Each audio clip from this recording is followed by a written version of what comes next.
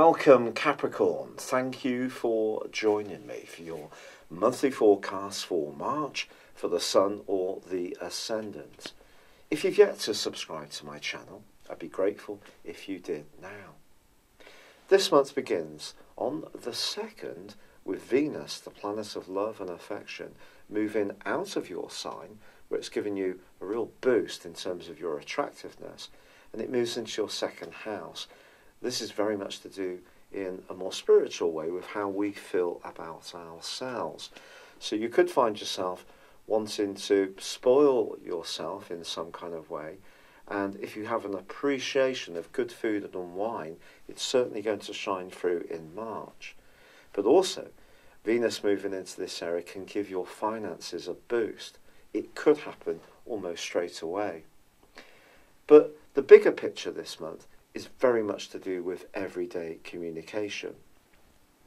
These are the short, bright conversations we have with neighbours, with siblings, text messages, emails, buzzing backwards and forwards that give us a lot of stimulation.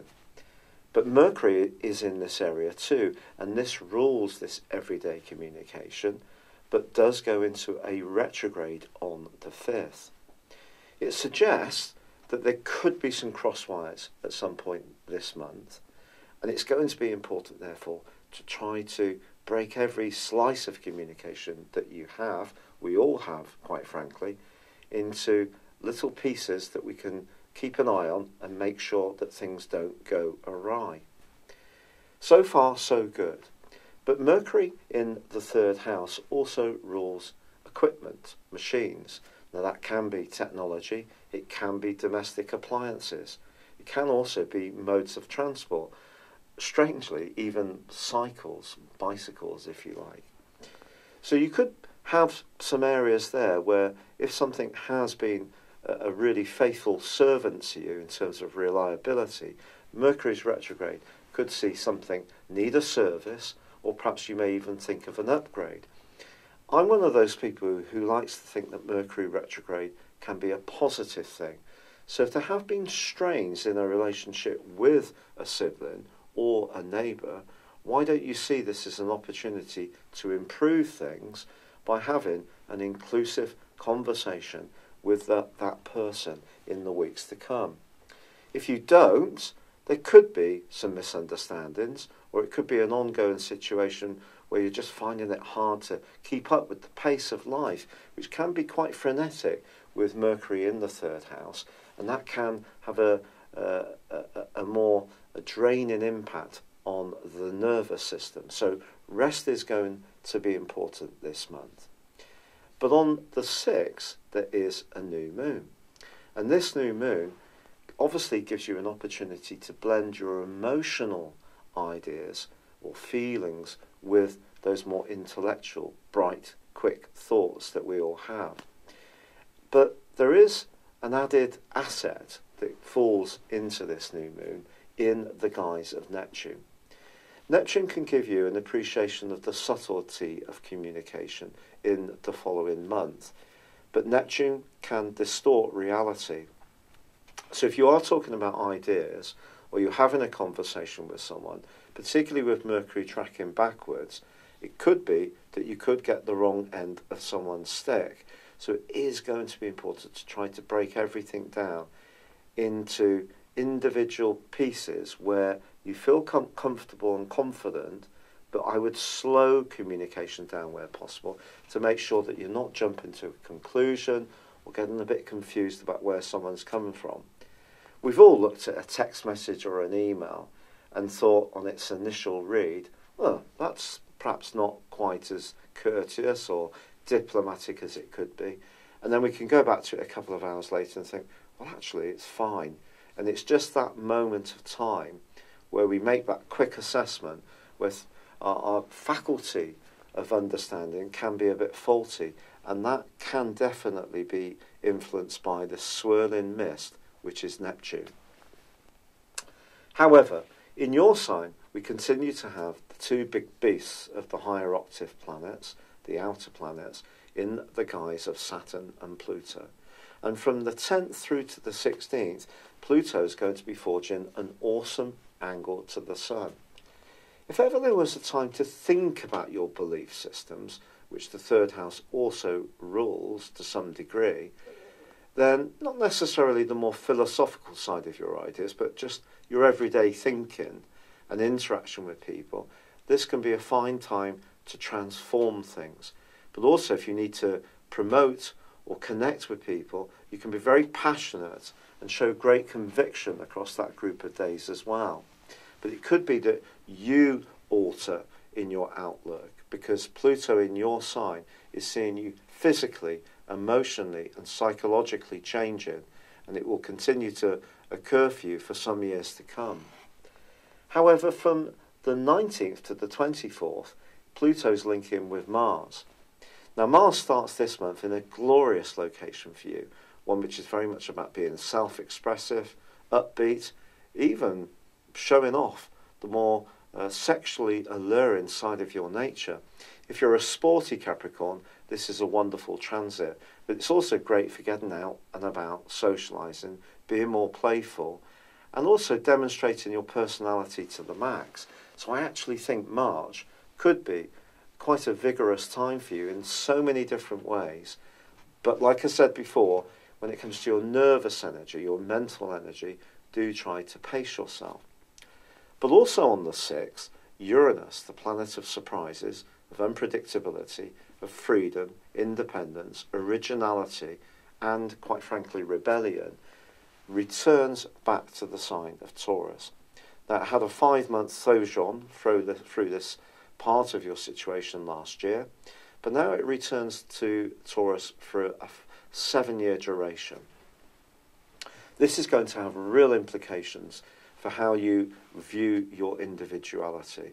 Because you're someone who is governed by the sign of, by the uh, planet that is Saturn, your ruler, and Saturn is very much about caution, even though you can be very playful, particularly as you get older, at times you do have that more cautious, steady approach to situations. And what Uranus is going to do is ask you to break out of any situation which has really been limiting you in any way. Now, over the last seven years, and just beyond that, since 2010 for five months, and since 2011 full time, apart from those five months last year, Uranus has been making its way through your home zone. And you may have demanded absolute right to control your space. So when you're close to people, when you, you have a bit of freedom, and this may have created some unusual home circumstances for you.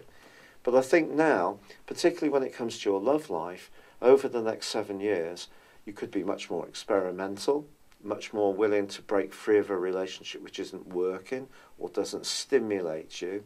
And you need to also demonstrate to people the more daring side of your nature, which might sound counterintuitive to a cautious, steady, methodical, hard-working uh, Capricorn, but you don't have to sacrifice any of those qualities. You just need to complement them with parts of your activities which see you open up and flourish. So this is a fantastic time for you to grow.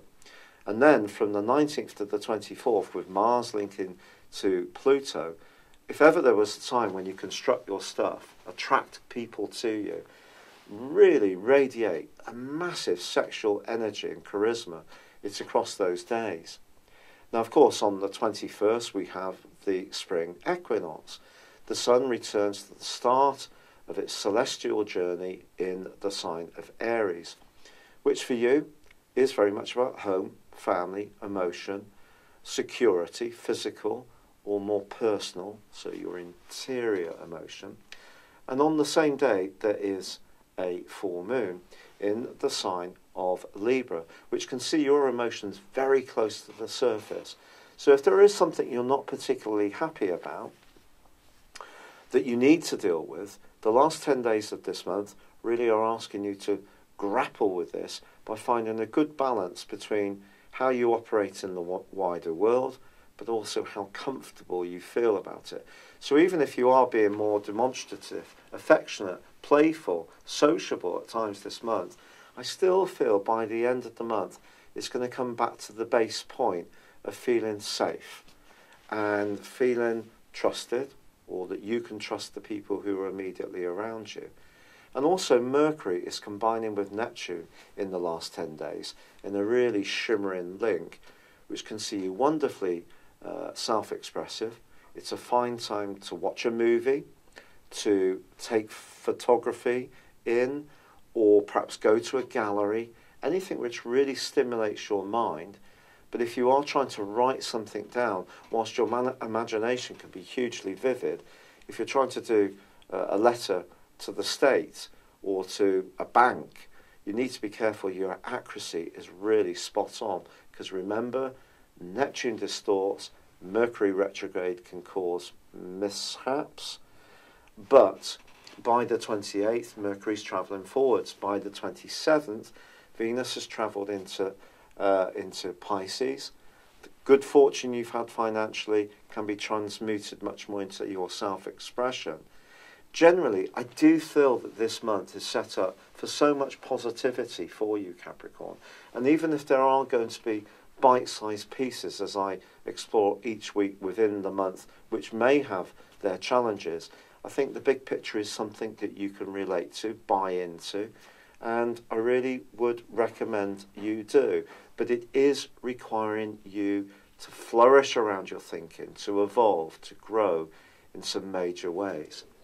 Now, for your in depth personal horoscope forecast combined with your character analysis based on your time, date, and place of birth, if you've never ever had these done, I really would uh, suggest you consider uh, doing so now. I'm offering a 30% discount on these two. And also, the forecast uses progressions and directions, a much more modern way of prediction which links also to transits, which is much more traditional. And this is where we take each year of your life as being one degree and advance all your planets forwards and see how they interact with your natal horoscope and also transits that are going on now. It can provide some hugely insightful information to you. Please see the link beneath this video. But for now, I'd like to thank you for joining me. If you've yet to subscribe, as I said earlier, or like or comment, I'd be delighted if you did. Good luck and goodbye for now. Thank you. Hello, thank you so much for watching my video. I'd love you to join me at my Horoscope Ace app. You can find this at www.horoscope-ace.com. You can use it through Android iOS, Apple, or Facebook. Check out your ascendant or your moon sign, or download your free birth chart. There's all your favourite videos, plus there are daily, weekly, monthly, and yearly horoscopes for general, love, Chinese, and Indian astrology. If your passion is tarot, there's my brilliant three card money or love tarot readings too. And it's all there at www.horoscope-ace.com. Thank you.